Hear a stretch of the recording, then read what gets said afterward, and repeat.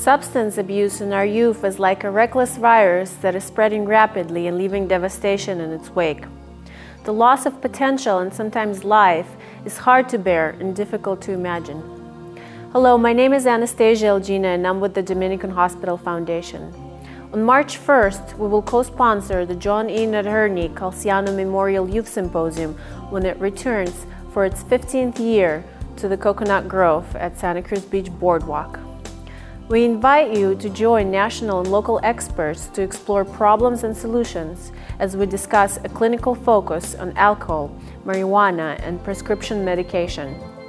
This five-hour professional educational program will be recorded by Community Television of Santa Cruz County for future telecast, giving our entire community an opportunity to benefit from this very important event. For more detailed information, to register for the symposium or to make a donation, visit our website at calcianoyouthsymposium.org. Thank you. Together, we can make a difference.